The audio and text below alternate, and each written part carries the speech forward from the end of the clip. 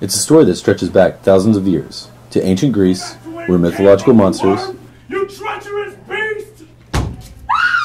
and demigods walked among mortals. And mine's Poseidon! Athena is our guide. She built our map.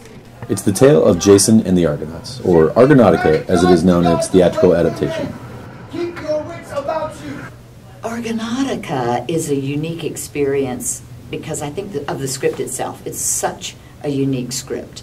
It's more what we might call a performance text that Mary Zimmerman, the playwright, did.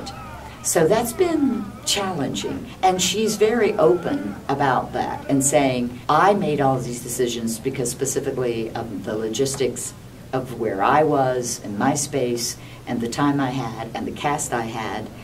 And that is, it's different for us. Stage manager Amy Spencer has this to say. I don't know. It's been really cool to see like how, because at first it was like really abstract because we didn't have any on the set or anything like that. Um, so we were all just like imagining that like all of these levels were here. Over the last two months, the cast and crew have put in hundreds of hours of evening rehearsals to transform this into and this. the dome of the sea and sky opened up. They saw a whole new world. Hear our prayer and grant us your indulgence. We are the first of mankind to venture forth on unlawful paths It's been, we've all put in a lot of work, and uh, we really want you uh, to put on a show that people want to come see.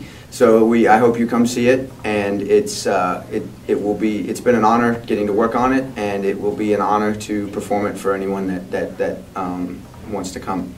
Argonautika premieres at 7.30 tonight, March 11, at the MU Corner Playhouse.